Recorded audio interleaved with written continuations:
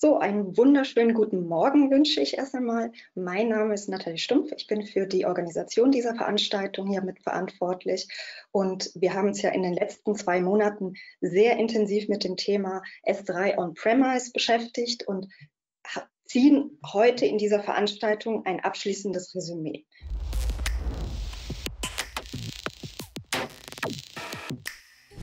Und dafür habe ich jetzt zwei meiner Kollegen hierfür eingeladen. Zum einen René Weber, unser Field Application Engineer. Ähm, hallo René. Guten Morgen. Guten Morgen. Du wirst dich ja das Ganze eher von einem technischen Aspekt der Seite beleuchten, ja? Genau, ich probiere es zumindest und ich hoffe auf viele Fragen, die ich dann auch beantworten kann. Wunderbar.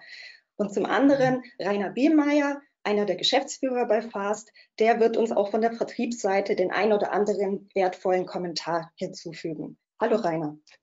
Hallo, guten Morgen, alle miteinander. Also wie es die Nathalie schon gesagt hat, das ist für uns jetzt auch äh, ein neues Format, wo wir einfach hoffen, für äh, euch da draußen möglichst mehr Mehrwert zu generieren. Wir haben ja jetzt in den letzten Wochen äh, über den Vogel IT Verlag mit der ISX und DSX schon mehrfach zu dem Thema referiert. Und heute ist die Idee, einfach ein bisschen diesen QA-Teil, der sonst immer stattfindet on-premise, wenn die Leute vorbeikommen, äh, hier in einem Videoformat nachzuholen. Deshalb sind wir beide heute hier.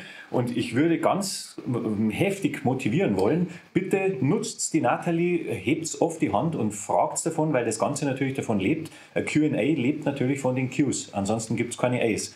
Wir haben uns natürlich so ein bisschen einen roten Faden durchgelegt, wie wir das erklären wollen.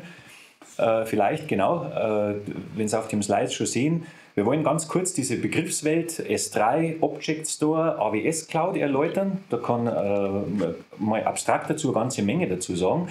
Dann unser Thema natürlich heute, warum macht es Sinn, einen äh, quasi für die Cloud entwickelten Speicher oder Technologie auch on-premise zu nutzen? Und dann natürlich, wenn ich mir das überlegen könnte, dass die bei mir vor Ort sind, welche Vorteile könnte ich denn einfach haben?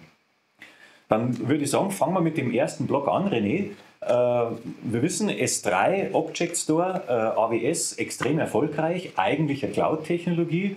Äh, worum dreht es denn dabei? Wie kann man denn diese Begrifflichkeiten ein bisschen einsortieren im Vergleich zu den anderen Speichern und was es sonst so gibt? Du hast gerade schon ganz schön gesagt, ähm, Cloud, warum sollte man das on-premise machen? Das ist heute das Thema.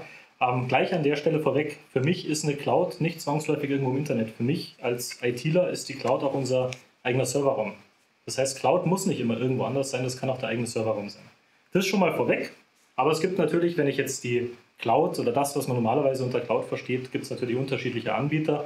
Das heißt, ich habe einen Amazon draußen, ich habe einen Google draußen, ich habe einen Microsoft draußen. Ich habe unterschiedliche Cloud-Anbieter und jeder Cloud-Anbieter hat natürlich auch seine Herausforderungen, gerade was die Datenspeicherung angeht.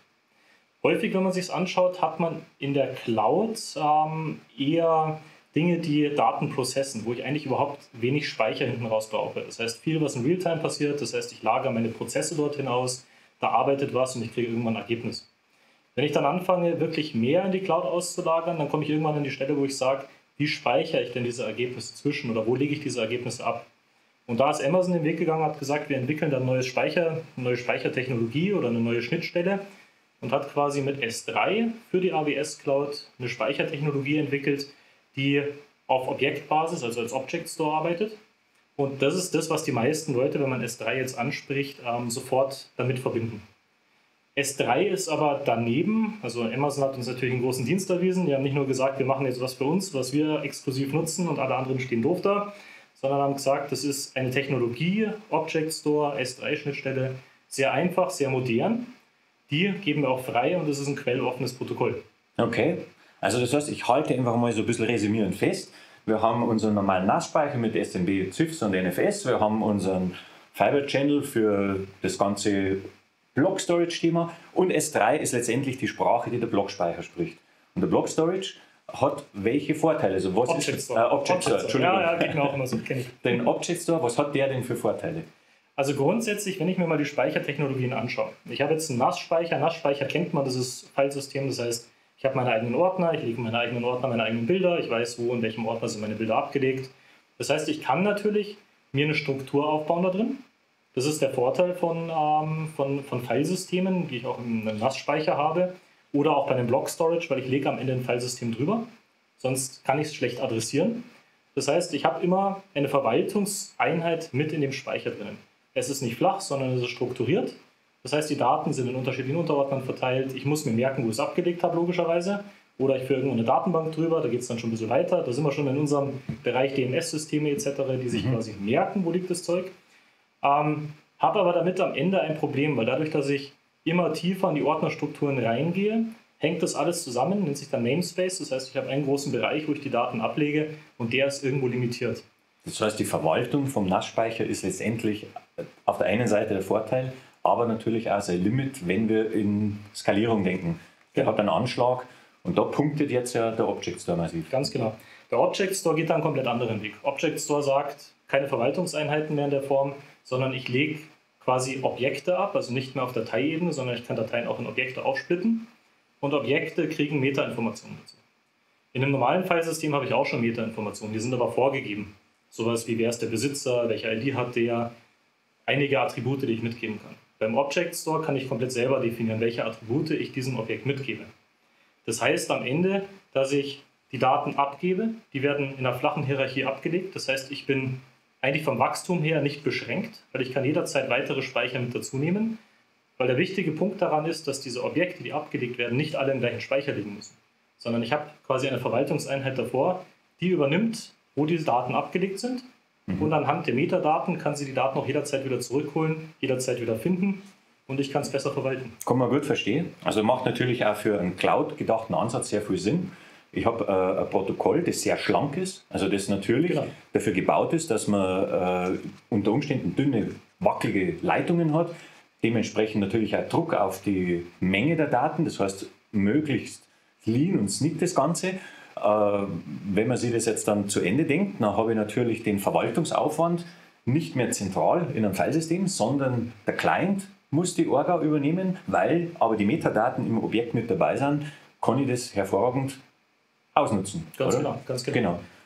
Dann sind wir im Prinzip mal mit dem ganzen Thema soweit, glaube ich, dass die Begrifflichkeiten, also für uns bedeutet auf jeden Fall S3 jetzt nicht äh, AWS, sondern S3 ist einfach HTTPS-basiertes, ganz effizientes Protokoll, mit dem man mit dem Object Store spricht. Und das ist auch jetzt für die weitere Diskussion, glaube ich, wesentlich, dass man das im Kopf behält. Genau, genau. Also was, was glaube ich vielleicht, das möchte ich noch mal kurz abschließend sagen, was natürlich wichtig ist, ist, S3 ist jetzt nicht nur Object Store aus unserer Sicht. Also natürlich habe ich damit etwas, was auch wahnsinnig gut skaliert. Man muss zugeben, unsere NAS-Systeme skalieren auch wahnsinnig gut. Das heißt, ich kann über Bricks unheimlich gut erweitern. Ähm, über den Object Store hole ich mir aber zum einen mal nochmal eine Art Medienbruch mit rein. Weil Object Store ist einfach modern. Object Store wird von Ransomware noch nicht angegriffen. Kleines mhm. Thema. Mhm. Das ist im Übrigen ist dann der nächste Themenblock. Ransomware kann man vielleicht schon mal ankündigen an der Stelle. Absolut. Genau. Ähm, das heißt schon mal eine Art Medienbruch. Und ich hole mir mit dem Object Store natürlich noch einen weiteren Vorteil rein, und zwar, dass ich alle Technologien und alle Lösungen, die jetzt auf modernes Protokoll sich weiterentwickeln oder in diese Richtung gehen, Cloud-Speicher auszunutzen und die Vorteile zu nutzen, hole ich auch noch mit ins Boot. Sehr guter Punkt, da kommen wir ja noch einmal drauf. Es gibt eben heute schon Softwarelösungen, die ausschließlich nur noch mit S3 funktionieren. Insofern macht das natürlich Sinn. Wenn man jetzt sagt, das ist eine coole Technologie, das ganze S3 Object Store Thema, äh, ist aber für die Cloud gebaut, hm, warum macht es Sinn, das on-premise zu haben? Wenn, also ich selber, äh, das weiß ja jeder, der mich besser kennt, ich möchte gerne wissen, wo meine Daten sind, wer bitte die alles lesen kann. Ich möchte auch unterschiedliche Sicherheitsniveaus unter Umständen haben, je nachdem, welche Daten wir da im Fokus haben. Ich möchte auch was löschen können und zwar wirklich löschen.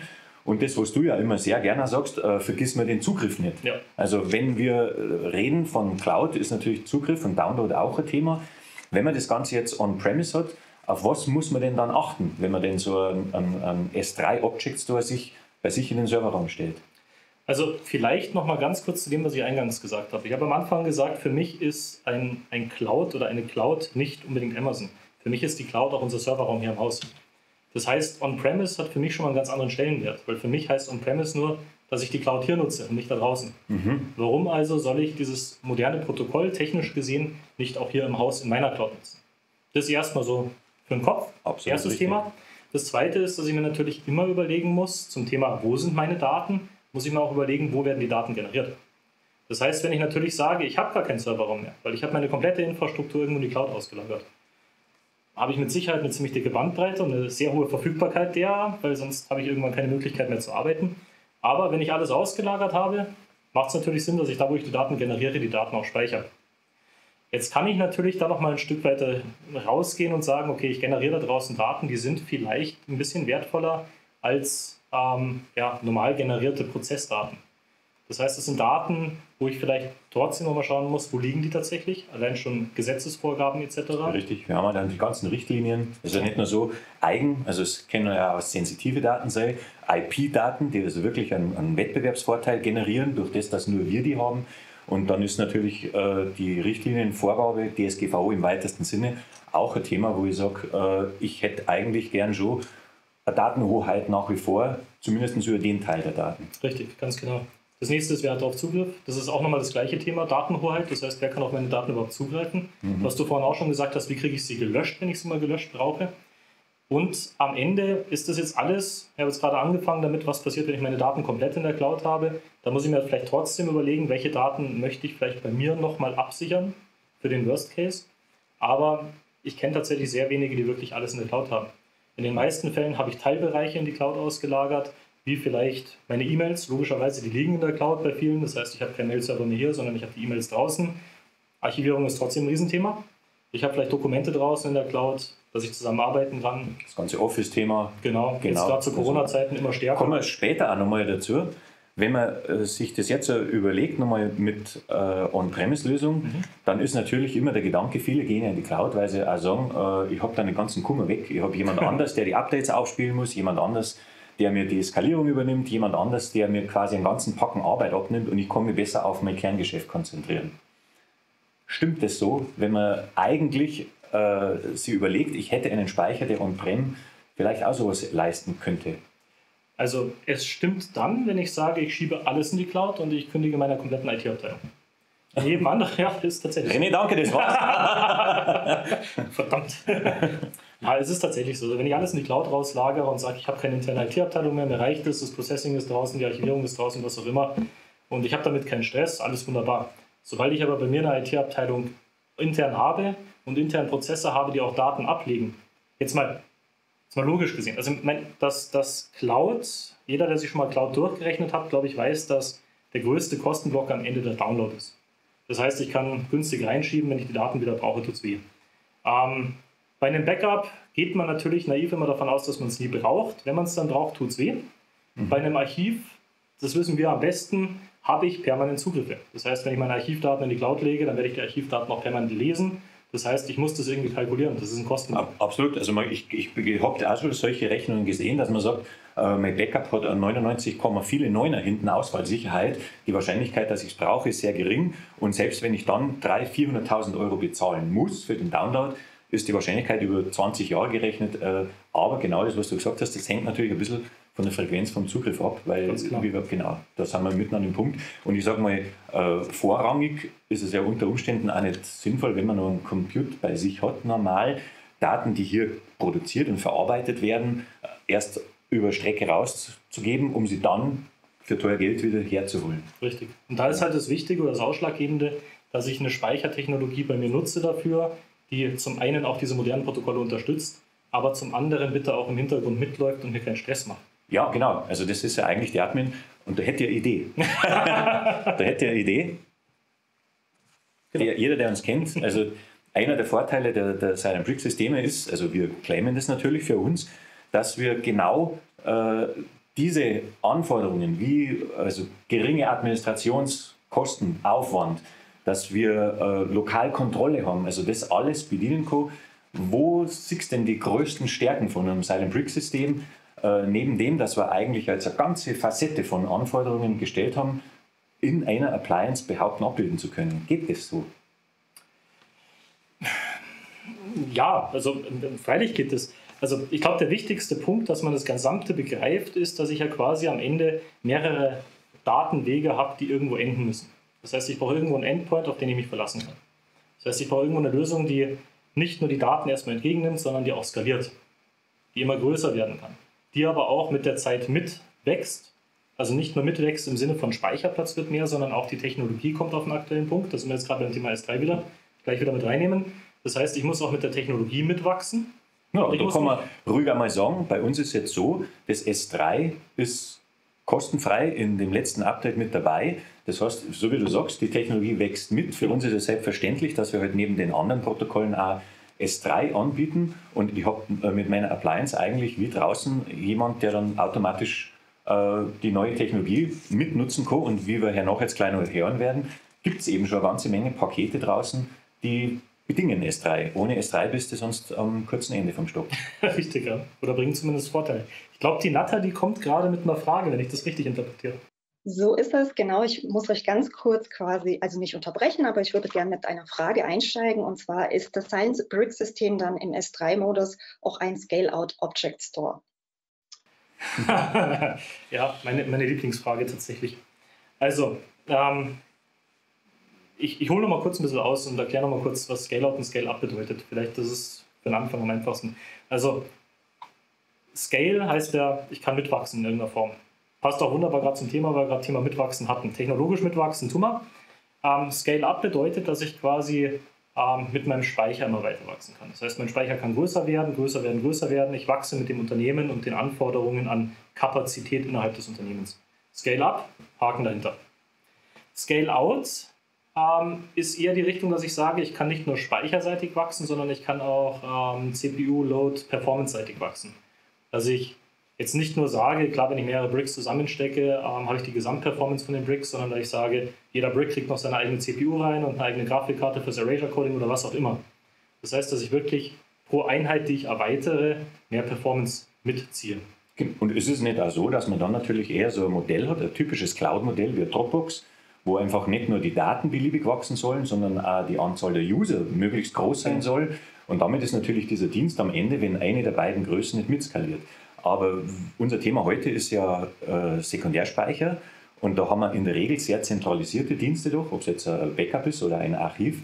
Und dort muss man sich dann, glaube ich, schon die Frage stellen, brauchen wir unbedingt ein Scale-Out? Weil Scale-Out, so wie es der René ja gerade erklärt hat, bedeutet natürlich auch immer äh, Performance. Und Performance ist zwischen Daumen und Zeigefinger. Und zwar nicht zu knapp. Und wenn ich das dann in einem Backup- oder Archivumfeld gar nicht abgreifen kann oder muss, muss man sich schon die Frage stellen, äh, macht es dann an der Stelle Sinn? Ja, vor allem ist es nicht nur Sekundärspeicher, es geht um Sekundärspeicher on-premise. On-premise werde ich nicht das ganze Internet, also hoffentlich nicht, bitte nicht, das komplette Internet auf meinen Speicher lassen, weil dann habe ich auch nichts gewonnen. Das heißt, ich habe sehr, sehr klare Prozesse, die intern bei mir darauf zugreifen. Das ist mein Archivprozess, das ist mein Backup-Prozess, die da Daten ablegen. Da werde ich keine 10 Millionen User drauf haben. Also um die Frage ganz klar zu beantworten, also ein Scale-out ist es nicht, aber wir sind der Meinung, für den dedizierten Zweck, den wir uns überlegt haben für die Silent Bricks, ist es nicht nur nicht notwendig, sondern auch nicht zuträglich, weil über Gebühr teuer und äh, macht quasi den, den Gegenpol zur Cloud on-prem ein bisschen obsolet. Weil dort ist das natürlich beliebig möglich, das wissen wir alle. Genau, muss es auch. Genau. Genau. Jetzt vielleicht nochmal zurück, wenn wir sagen. Äh, ich glaube, glaub, die Nathalie hat noch eine Frage. Ich glaube, die Nathalie hat noch eine Frage. Ja, herrlich. Entschuldigung. Es gab nämlich auch gleich schon die erste Anmerkung, die auch ähm, sehr interessant ist. Nämlich ähm, äh, ein Problem, das man jetzt hier auch sieht, ist, dass alle Services nur über eine IP, ein Netz zur Verfügung gestellt werden. Ähm, ob es denn Pläne gibt für eine VLAN Tagging Service Binding auf verschiedenen Interfaces? Eine Klassikerfrage, die tatsächlich bei uns auch entwicklungsseitig eingekippt ist. Ähm, ich glaube, man kann sich vorstellen, dass bei einem Produkt, das sowohl Archivierung als auch Backup, äh, transportable Medien, Nassspeicher als S3-Speicher mitwächst, ähm, dass es da auch sehr, sehr viele andere Punkte gibt, die konkurrieren. WLANs, mehrere IP-Adressen für das Netz ist definitiv was, was bei uns in der Entwicklung drinnen hängt. Wann das Ganze kommt, kann ich allerdings nicht sagen und auch nicht versprechen. Nein, aber es hat ganz klar, also die, wer immer die Frage gestellt hat, hat natürlich äh, ordentlich mitgedacht, macht natürlich einen Sinn, physikalisch an der, also am Target zu trennen. Äh, ist bei uns auch in der Roadmap äh, relativ weit oben. Es ist nur so, wie es der René gesagt hat, wir haben äh, extrem viel, also die nächsten 24 Monate eigentlich schon voll und müssen einfach schauen, dass wir es unterbringen. Aber nein, derzeit können wir das noch nicht. Das muss man dann quasi nur lokal bei sich im Netzwerk lösen. Äh, vielleicht jetzt nochmal zurück auf das Thema, wenn wir sagen, wir machen. Hast du nur eine? ja, wunderbar. Ja, äh, und zwar einfach nur, ähm, ist das dann S3 für alle Silent Bricks verfügbar? Wie sieht es dann mit DS aus oder wie sieht es dann auch mit Silent Cubes aus? Mhm. Mhm. Um, also Silent Cubes und Silent Bricks müssen wir, glaube ich, komplett trennen. Der Silent Cube ist ein anderes Tier, der, hat, äh, der ist unser revisionssicheres Archiv.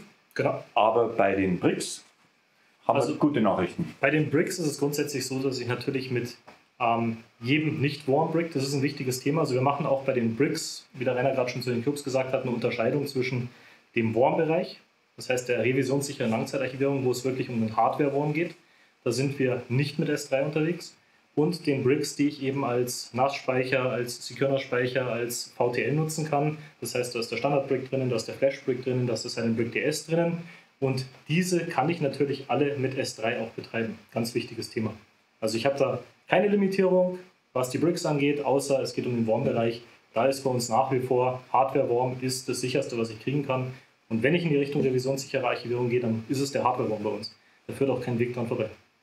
Naja, da steckt da sehr viel Technologie von uns drin ja. aus den letzten 15 Jahren, wie wir diese enorme Sicherheit generieren. Und die möchte man natürlich an der Stelle nicht wegen einem Protokoll aufgeben. Das ist ganz klar. Genau.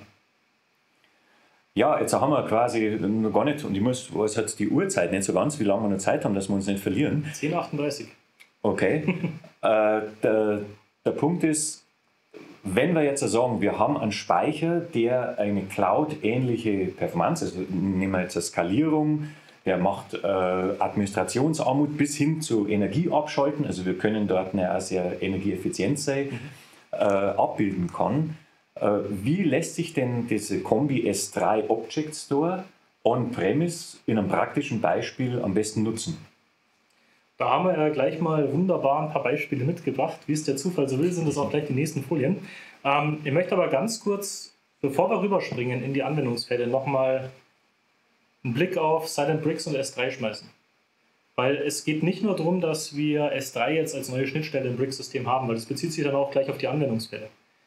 Es geht erstmal, steht erstmal die Frage im Raum, auf was setze ich da eigentlich S3 gerade auf? Und da sind wir mit unseren Speichern extrem sicher. Das heißt, ich habe in den Speichern ja schon mal eine Technologie drin, wo ich, wie du schon gesagt hast, offline schalten kann, die ich rausziehen kann und airgappen. Da stellt sich jetzt meistens dann die Frage, ja, airgappen ist ja alt, weil das macht der Tape und S3 ist ja modern und das, wie passt das überhaupt zusammen? Das passt wahnsinnig gut zusammen, weil wirklich jedes Objekt seine eigenen Metadaten mitbringt. Wenn ich mir das mal überlege, das heißt, ich habe auf dem Speicher eigentlich einen komplett in sich konsistenten Stand mit allen Metadaten, mit allen Objekten. Klar kann ich den rausziehen und transportieren und irgendwo anders auch diese Metainformationen wieder einlesen. Das heißt, AirGap und S3 passt eigentlich wunderbar zusammen. Einwandfrei. Dann kommt mit dazu, dass wir für gerade das Thema Ransomware, kann ich nochmal hinweisen auf die nächsten Themenmonate, ähm, wo das Thema Ransomware kommt, äh, bei uns im Speicher auch Technologien drin haben, wie jetzt zum Beispiel den Continuous Snapshot.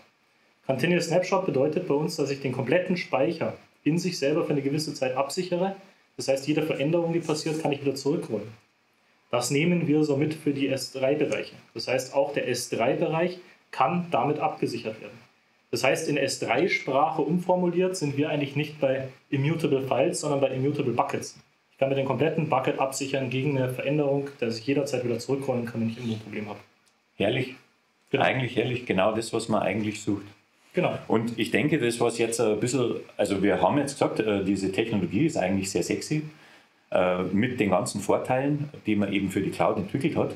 Wenn man aber den Speicher hat, on-premise, kann man diese ganze Technologie extrem vorteilhaft äh, auf diese Art und Weise für sich nutzen und hat aber noch Vorteile natürlich, die wir jetzt ja versucht haben, mal kurz anzureißen, mit dem Airgappen, mit der kurzen Weg, also keinen zu, zusätzlichen Aufwand, wenn wir äh, restoren müssen und so weiter und so weiter. Dann würde jetzt aber trotzdem in Anbetracht der Zeit nochmal kurz schauen, wie es ausschaut mit den Anwendungsfällen, weil, äh, wie eingangs schon gesagt, es ist ja so, wenn wir jetzt äh, hier unsere beliebig große Datenmenge haben, gibt es ja eine sehr leichte Rechnung, dass selbst bei überschaubaren Datenmengen, 10, 20, 30 Terabyte, bereits sehr kräftige Leitungen schnell zu dünn werden. Ja. Das heißt, warum würde ich das denn raushaben wollen? Und dann haben wir hier ein, ein dein Lieblingstool von Veeam mit dem Sober den, den, und den Scale-Out äh, Capacity Tier.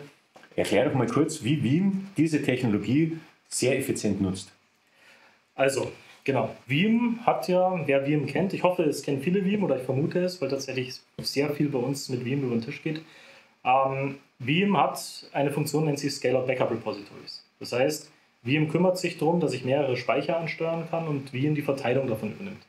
Ich kann dann definieren, möchte ich lieber dafür sorgen, dass die Daten so gespeichert werden, dass ich eine Performance generiere oder dass jede Backup-Chain in einem eigenen Speicherbereich liegt, sodass ich dann eine Aufteilung der Daten habe.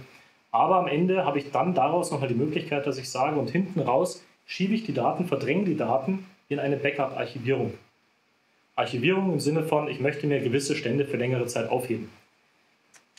Da klingeln bei den meisten schon die Tape-Glocken, weil längere Zeit aufheben ist ja, ich schreibe es mir auf ein Tape, ziehe es raus und lege es in den Tresor.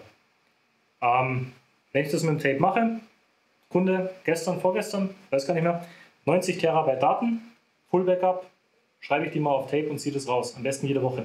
Dann bin ich die ganze Woche mit Tape schreiben beschäftigt. Ist übrigens mit Bricks, also ich kann es mit Bricks auch machen, aber das ist genau das gleiche Thema. Ich werde niemals dann, das muss ich gerade im Kopf rechnen, ich weiß gar nicht, 10 Bricks oder was, wirklich rausziehen und jede Woche irgendwo im Tresor liegen. Das macht einfach keinen Sinn mehr. Das heißt, spätestens an der Stelle brauche ich irgendeine Technologie, die mir diese Verdrängung auf eine moderne Art macht. Und mhm. genau da kommt dieser Capacity-Tier rein. Wunderbar. Der Capacity-Tier sorgt dafür, dass er automatisch Stände verdrängt und dass er wahnsinnig effizient, was die Daten angeht, arbeitet. Und das kommt alles durch den Object Store. Das heißt, was Veeam dann macht, ist, ich habe ein Full Backup, das ist vielleicht, ja, sagen wir mal so groß, damit man auch eine Vorstellung hat. Das Full Backup würde ich sonst normalerweise auf meinen Speicher schieben, dann ein paar Increments dahinter, dann wieder ein Full Backup, Increments dahinter, wieder ein Full Backup. Ähm, mit dem Scale-Out Backup Repository und dem Capacity Tier auf S3, viele Wörter, breche ich dieses Full Backup sozusagen, dass man sich vorstellen kann, in Objekte runter.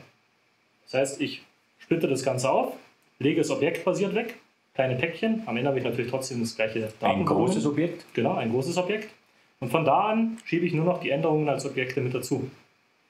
In einem normalen Speicher müsste ich jetzt, wenn ich die Daten wieder haben möchte, also den Stand von heute, obwohl ich letztes Jahr angefangen habe, alles zusammenrechnen, damit ich den aktuellen Stand kriege. Beim S3 lese ich eigentlich nur noch die Pakete in der richtigen Reihenfolge, weil dadurch, dass ich es runtergebrochen habe und jedes Päckchen seine eigenen Metainformationen hat, brauche ich nur die richtige Reihenfolge zurücklesen und habe den aktuellen Stand. Das heißt, ich spare mir eigentlich diese ganzen sehr prozessaufwendigen Synthetik-Fulls. Ganz genau und bin eigentlich, äh, ich, ich, ändere nur das, was ich tatsächlich, also im Prinzip das, was jeder über das Backup mit den Inkrementen kennt, ändere ich eben nicht das Inkrement, sondern das Objekt, ersetze das in meinem Full und habe automatisch mehr oder weniger, hört sich extrem platzsparend auch an, weil natürlich für viele Fulls eigentlich nur noch mir das Delta aufbewahren muss. Ist das so? Ganz genau, richtig. Ja. Ich merke mir nur noch das Delta, ich merke mir nur noch das kleine Objekt oder lege nur noch das Objekt ab. Das kommt natürlich alles von den Cloud-Gedanken her. Mhm. Wenn ich in die S3 Cloud rausschiebe und ich habe 90 Terabyte Full Backup, was ich auf meinem Tape nicht mehr abbilden kann, auf Bricks vielleicht auch nicht mehr transportabel abbilden möchte, sondern auf eine andere Technologie rausschieben möchte, dann werde ich in die Cloud zwar auch am Anfang mal 90 Terabyte rausschieben, es dauert seine Zeit, aber am Ende möchte Veeam natürlich Cloud so wenig wie möglich über die Leitung schieben. Was man natürlich trotzdem berücksichtigen muss, wenn ich ein Full Backup wiederherstellen will, muss ich dann auch aus der Cloud 90 Terabyte zurückziehen. Das heißt, da bin ich definitiv im Vorteil, wenn ich das Ganze on-premise habe, weil in den meisten Fällen auch dann mein Backup-Server meine Infrastruktur steht. Ja, und ich meine, äh, ich weiß nicht, vielleicht äh, sind einige dabei, die den noch nicht gesehen haben, aber da punktet dann ja unser DS massiv. Ja. Wenn du gesagt hast, ich meine, bis 30, 40, 50 Terabyte kommen wir eigentlich nur mit den normalen Bricks wunderbar zurecht. Äh, der DS-Bricks, der, der ist quasi eine Höheneinheit mit drei Webzollplatten und der geht bis 200 TB. Der wäre ja dann ein perfektes Target für so ein Capacity-Tier. Genau, es geht ja genau um diese Verdrängung. Längere Zeit aufbewahren, Vermutlich werde ich die Daten nicht mehr brauchen. Wenn ich sie brauche, müssen sie zurückkommen. S3 ist auch performant unterwegs. Ich kann direkt daraus meine Daten wiederherstellen. Ähm, perfekte Lösung dafür. Ja. Ganz genau. Okay. Also ich nehme mit, wenn ich äh, mich entschieden hätte, on-prem zu arbeiten und der Speicher mich dort maximal unterstützt, bin ich in modernen oder neuen Technologien wie S3 und Object Store eigentlich bestens aufgehoben und unterstützen mich sehr in dieser Aufgabenstellung. Ganz genau.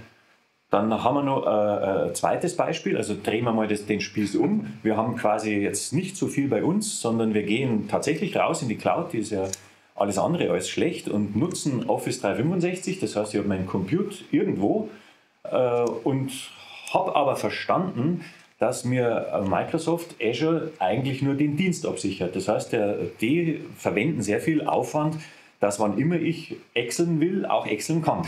Aber den Inhalt, also die mitunter wichtigen Daten, die im Excel verarbeitet werden, die muss ich schon in der Eigenverantwortung. Also ganz davor abgesehen natürlich, DSGVO verhindert sowieso ein Abtreten an einen Dritten von dieser Pflicht, dass ich die Daten verfügbar habe. Also ich muss mich um die Sicherheit meiner Daten selbst kümmern. Ja, und ja. das kann ich natürlich jetzt auch wieder auf unterschiedliche Arten und Weisen machen. Das ist tatsächlich vielen nicht bewusst, dass ich quasi für meine Daten, die ich in der Cloud bei Microsoft liegen habe, Office 365 jetzt an dem konkreten Beispiel, dass ich mich selber darum kümmern muss, dass ich davon Backup habe. Also man muss sich ja immer überlegen, es gibt einmal den Betrieb, ich muss im Betrieb sicherstellen, dass alles verfügbar ist, also eine Verfügbarkeit des Dienstes. Das macht Microsoft natürlich in den, in den Rechenzentren mit Bravour, logisch. Ich werde immer, wie du gesagt hast, exceln können. Aber was passiert denn, wenn ich aus Versehen eine Datei, also es geht tatsächlich so einfach, wenn ich aus Versehen oder in meinem E-Mail-Postfach Exchange Office 365, ich lösche aus Versehen eine E-Mail, wir kriegen die wieder. Das passiert schnell. Das passiert ja. verdammt schnell. Ja. Oder, ja. oder Worst Case, Ransomware. Das heißt, ich habe eine Ransomware auf dem Rechner, ich habe OneDrive eingebunden, alles, was in OneDrive liegt, wird verschlüsselt. Wie kriege ich diese Daten denn wieder? Das heißt, ich muss mich am Ende um ein Backup kümmern von den Daten. Das kann ich natürlich zum einen entweder in der Cloud machen, das heißt, ich sage, die Daten liegen in der Cloud und ich mache ein Backup auch wieder in die Cloud, dann liegt es halt an einem anderen Ort. Sollte ich mich natürlich informieren, dass die Daten dann auch wieder auf dem deutschen Server liegen, alles was Gesetz ja, ist. Ja, ganz ehrlich, es fühlt sich ja so ein bisschen komisch an, wenn wir jetzt beim Thema Ransomware bleiben, dass aus dem Internet die Bedrohung kommt. Das Erste, was jeder macht, ist, er kappt die Leitung und versucht erstmal zu verstehen, was los ist. Und um dann wieder hochzufahren, ist das Erste, was ich tun muss, wieder online gehen. Ja. Ähm, muss man sich erst damit auseinandersetzen also und sehr genau wissen, was man tut. Ja, wer sich technisch schon mal angeschaut hat, wie man nach so einer Ransomware-Bedrohung vorgeht oder nach einem Ransomware-Angriff, ist genau das, was du gesagt hast. Erstmal kappen, rausfinden, wo ist Patient Null sozusagen, das heißt, wo ist der Angriff gestartet, wie hat sich ausgebreitet, welche Maschinen kann ich noch nutzen, welche Maschinen muss ich abschalten. Wenn es alles irgendwo im Rechenzentrum von, von mir aus auch Google oder Microsoft oder wer auch immer liegt, dann habe ich da recht wenig Möglichkeiten, dass ich für mich quasi diese Analyse ähm, durchsetze. Das heißt, ja, wie du schon gesagt hast, es fühlt sich irgendwie nicht so an. Das hat Wiem auch erkannt. Wiem hat gesagt, ich muss eine Möglichkeit haben, ein Backup von diesen Daten in einen Speicher machen zu können. Zum einen die Möglichkeit, auf ein iSCSI-Tage zu gehen. Das heißt, ich habe ein Block-Storage wieder, das kann ich bei mir lokal machen. Block Storage habe ich wieder das Problem, dass mir das Datenwachstum dann irgendwann wehtut. S3-Speicherung ja, ist dann die schönere Alternative, weil ich direkt aus dem S3-Storage die Vorteile der Reduzierung der Datenmenge habe und zum anderen diesen S3-Speicher theoretisch auch gleich wieder anbinden kann und direkt was lesen kann. Das heißt, ich hole mir mit dem Office 365 Backup einfach einen kompletten Spiegel hier on-premise, habe den meinetwegen sogar auch noch R gegabt, wenn wir in Richtung Ransomware denken und bin eigentlich auch für den Fall äh, bestens ausgerüstet. Ganz genau. Ähm, aus meinem wäre wir jetzt eigentlich soweit mit dem Thema äh, durch. Haben wir denn noch Fragen, Nathalie? Ja, auf jeden Fall. Ich habe jetzt erstmal gedacht, ich lasse euch erstmal so ein bisschen ähm, zu Wort kommen und dann kann man immer noch für die, die Leute, die gerne noch fünf Minuten draufsetzen, dann die Fragen durchgehen. Ähm, Ganz kurz jetzt nochmal. Wir haben ja jetzt das jetzt auch am Beispiel Veeam erklärt. Aber wie sieht es denn mit anderer Software aus? Sehr gute Ist das auch so unproblematisch oder gibt es da Einschränkungen? Also was, glaube ich, das Wichtige ist, jetzt können wir auch gleich hier so einen kleinen Insight bringen. Ich weiß gar nicht, ob ich das sagen darf, aber ich sage es jetzt einfach, weil dann hat man auch gleich eine Vorstellung davon. Ähm, erstmal ganz wichtig ist, dass S3 zwar ein offenes Protokoll ist, aber die Implementationen immer ein bisschen anders ausschauen. Das heißt, wenn ich sage, ich habe irgendwo einen S3-Speicher, dann muss ich mir erstmal anschauen, welche Befehle unterstützt der wirklich auf welche Art wird er angesprochen. Das heißt, erreiche ich den Bucket über den Pfadnamen oder über eine Subdomain. Ähm, es gibt unterschiedliche Arten, wie ich damit arbeiten kann. Das heißt, man muss sich erstmal anschauen, welche S3-Implementation steckt da eigentlich drinnen. Wir nutzen bei uns MinIO. MinIO ist ein S3-Server. Für die Techniker, die hier in der Runde sind, werden wahrscheinlich einige das Ganze kennen. Für die VM-Leute, die in der Runde sind, kennen es bestimmt auch einige, weil gerade in einem Newsletter vor ein paar Monaten der Gostev geschrieben hat, schaut euch Minio an, das ist das, was wir überall in den Labs nutzen. Ähm, hat uns natürlich sehr gefreut, weil da waren wir schon durch mit der Implementation. Ähm, ist ein Server, der von der Standardisierung her sehr, sehr weit ist und damit eigentlich mit allem draußen funktioniert. Ich muss jetzt zugeben, ich hatte ein Thema damit. Also ein einziges Problem habe ich bisher getroffen und das war eher in dem Bereich ähm, Backup aus einem Consumer-Bereich oder aus einem ja, man kann es glaube ich sagen, aus dem Synology, NAS, da ging es um das Thema Hyper Backup, also auch sowas schauen wir uns tatsächlich an. weil wir auch Kunden haben, die da eine Anforderung haben. Ich möchte meine Synology in den sicheren Speicher nochmal rüberbringen mit dem, mit dem integrierten Tool, was auf S3 hinten rausgehen kann. Ähm, haben wir uns angeschaut, gibt es eine Einstellung, ist inzwischen auch drinnen. Also da geht es genau um diese Frage der Ansprache. Technisch gesehen ist aber am Ende die S3-Implementation, so wie wir sie drin haben, eigentlich mit jedem draußen kompatibel.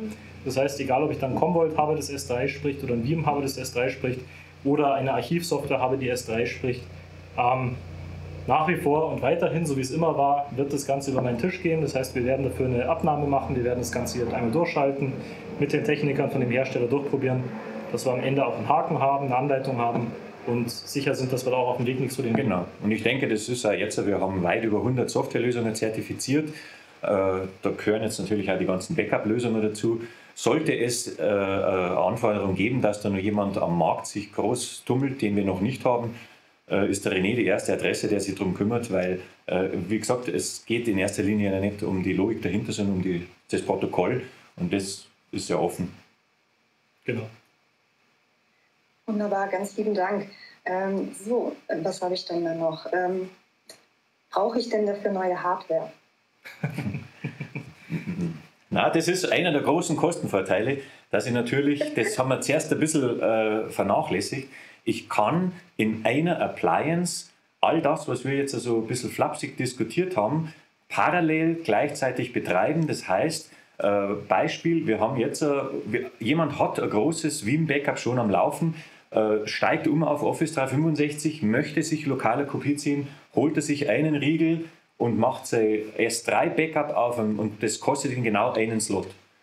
Das heißt, ich kann mit einem Silent Brick System eben die, die, die ganze Klaviatur bis hin zu äh, Verwormung, wenn ich sie dann haben möchte, oder ähm, Airgap in einer Appliance abspielen. Und deshalb brauche ich quasi ein neues, eine neue Hardware im Sinne von der Speichererweiterung, also die Kapazität als solches. Aber von der ganzen Infrastruktur ist alles eins zu eins weiter zu nutzen. Da muss ich kurz unterbrechen. Ich brauche noch nicht mal neue Hardware. Wenn ich jetzt wirklich sage, ich möchte gerne umsteigen oder ähm, etwas mit dazu nehmen, ich kann das S3 auch problemlos auf einen bestehenden NAS-Speicher aufsetzen. Reformatieren? Das heißt, ich, sagen, Klar. ich muss noch nicht mal reformatieren. Ich kann auch sagen, ich lasse weiter mein VM-Backup reinlaufen und dazu noch auf einem anderen Pfad über S3 die anderen Daten auf den gleichen Speicher. Also selbst so weit haben wir es implementiert, dass ich auch eine Möglichkeit habe, einen Speicher für beide Daten zu nutzen. Es wird immer besser. Ob das am Ende wie so einer amerikanischen Verkaufssendung. Es wird immer besser. ähm, ob das am Ende sinnvoll ist, muss man für sich selber bewerten, weil natürlich die Zugriffe auf die Daten dann das Ausschlaggebende sind. Das heißt, wie viel Performance brauche ich am Ende pro Brick oder wie schnell sollen die Platten drehen oder ich habe einen Flashbrick da, möchte ich da wirklich meine Office 365 Daten drauflegen. Aber es geht natürlich.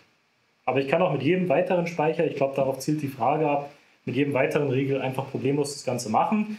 Und bevor die nächste Frage gleich kommt, wie komme ich denn an die S3-Implementation oder an die S3-Schnittstelle, das kommt einfach mit dem Update mit rein. Das heißt, nach dem Update habe ich jetzt noch die Möglichkeit, neben NFS, SMB auch S3 auszuwählen. Ganz einfach. Ja, das ist auch sehr gut, dass du es gleich beantwortest. Das stand nämlich auch auf meinem Fragenkatalog, also sehr wunderbar. Und ich glaube, ihr habt es schon erwähnt, aber es kam jetzt quasi einfach nochmal, kostet es denn noch was extra? Nein, das ist genau der entspringende Punkt, weil wir sehen uns ja eigentlich als Hersteller von sehr sicheren und hochskalierbaren Speichern und nicht so sehr jetzt von äh, äh Ausgrenzung über Interface, wo wir dort äh, ich sag mal, ja, ein bisschen unseriös Geld abzocken wollen für einen einfachen äh, Klienten, sondern das kommt, wenn morgen ein S4 oder S5 kommt, dann werden wir natürlich das auch implementieren und dann ist es einfach in den Silent Bricks mit dabei. Das heißt, ganz klar die Antwort ist nein. Äh, mit der normalen Silent Brick Software, mit dem normalen Brick Manager sind die ganzen Interfaces äh, automatisch mit dabei. Selbstverständlich. Okay. Wunderbar. Ja, wunderbar. Herzlichen Dank. Ähm, ich habe momentan zumindest noch keine eingehenden Fragen und würde vielleicht die Gelegenheit auch gerne dazu nutzen, für alle Teilnehmer, wenn sie sich ausloggen, dann poppt quasi so ein Feedbackbogen auf. Und das ist für uns natürlich ganz arg wichtig. Wie hat es Ihnen gefallen? Was sagen Sie zum Thema? Es wird Sie keine zwei Minuten Zeit kosten. Wir würden uns sehr freuen, wenn Sie uns das quasi kurz ausfüllen könnten. Und wenn Sie Interesse an den kommenden Themenmonaten zum Thema Ransomware, wie der Kollege schon gesagt hat, haben, dann können Sie sich da quasi ebenfalls eintragen und wir setzen Sie gerne auf den Verteiler. So. Ja, und vielleicht auch noch, Nathalie, an der Stelle vielleicht ja. auch nochmal die Motivation, weil wir haben uns ja in den letzten Monaten schon sehr engagiert, um quasi der aktuellen Situation Rechnung zu tragen. Wir haben unsere ganzen äh, also Online-Angebote massiv aufgebohrt äh, für das, was jetzt äh, vielleicht nur auf der Tonspur rüberkam. Äh, es gibt tolle Videos mit dem René, wo er die Sachen mit dem Scale-Up, Scale-Out erklärt, wo wir ganz, also diese einzelnen Themenbereiche ab. Es gibt äh, Anwenderberichte zu allen möglichen Softwarelösungen, ob es jetzt äh, Veritas oder wie sie alle heißen. Das heißt, es ist nicht nur so, dass wir hier äh, eine Luftnummer, sondern man kann sich das auf der Webseite in der Download-Sektion oder auch im YouTube-Kanal beliebig aufschlauen, wenn man möchte, und äh, nutzt das, weil dafür machen wir das. Mhm. So, jetzt sehe ich gerade, jetzt ist, äh, ich habe tatsächlich eine Frage bisher übersehen, entschuldigt bitte. Gibt es denn ein White Paper für die Veeam-Einrichtung? Es gibt tatsächlich ein White Paper für die Veeam-Einrichtung. Es gibt auch inzwischen einen Best Practice Guide für Veeam, wo ich so ein bisschen probiert habe zusammenzufassen, wo ist der Vorteil dann bei, S3, wo nehme ich vielleicht doch eher eine Brick-Rotation, dass ich ihn rausziehe und auslager. Das heißt, ab welcher Stelle ungefähr ist das Ganze interessant, dass man switcht. Ähm, Gibt es kann ich dann bei Bedarf gerne zuschicken. Das sind natürlich technische Dokumente, die jetzt nicht alle auf der Webseite liegen. Ähm, einfach kurz Kontakt aufnehmen. Nicht zu vergessen, unsere Mini-Guides. Stimmt, die gibt es auch noch. Die gibt es auch noch, da gibt es eine ganze Serie. Ja, also äh, ich hoffe, dass wir das transportieren können. Äh, wir wollen da so offen wie möglich kommunizieren, weil natürlich umso schlauer auch auf der anderen Seite die User sind, umso besser kann man die Technologien nutzen. Genau. Ja, also vielen Dank nochmal für den Hinweis. Und ich habe äh, in der Zeit ist noch eine andere Frage eingegangen. Super. Ähm, funktioniert denn S3 auch beim Deduplizierung? Bei der Deduplizierung, Verzeihung. Also ich, ich vermute, die Frage ist, ob mit S3 bei uns auch eine Deduplizierung stattfindet. Das ist tatsächlich dann bei S3 abhängig von der Software und wie die Software es ansteuert. Weil Deduplizierung bedeutet ja, dass ich quasi merke, wenn ich irgendwelche Blöcke schon mal geschrieben habe und die dann nicht mehr schreibe, das heißt, dass ich mir da Speicherplatz spare. Wenn ich mir das Ganze mit dem VM Backup anschaue, wie ich es vorhin erklärt habe, das heißt, ich habe ein Full Backup, ich splitte das runter in Einzelbereiche und lege nur noch die geänderten Daten ab, ähm, ist es vielleicht nicht unbedingt eine Deduplizierung, weil ich nicht nochmal alles durchschaue, welches Paket habe ich schon genau in der Form, sondern nur die Änderungen ablege, aber ich habe zumindest eine wahnsinnige Datenreduktion.